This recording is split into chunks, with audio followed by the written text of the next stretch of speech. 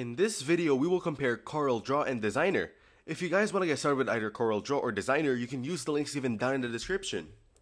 When comparing Corel Draw and Affinity Designer, both are powerful tools for vector design, but they cater to slightly different needs and users.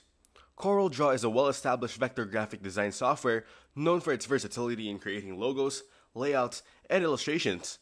It's popular in the print industry due to its strong support for various file formats and multi-page document features.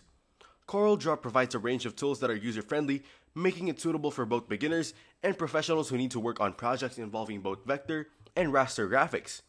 Affinity Designer is a more recent contender in the vector design space, offering professional grade tools at a one-time purchase cost rather than a subscription. It's known for its smooth performance, even with complex designs, and provides seamless switching between vector and raster workspaces. Affinity Designer is ideal for those looking for a more affordable, powerful alternative to a subscription based software with a focus on precision and flexibility.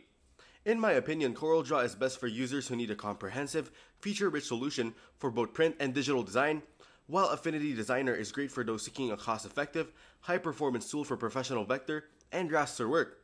Your choice will depend on your budget and the specific features you prioritize. So that's a comparison between CorelDRAW and Designer. Make sure to use the links given down in the description to get started with either CorelDRAW or Designer. If this video was helpful, please consider leaving a like and subscribing to my channel. With that being said, I'll see you in the next video.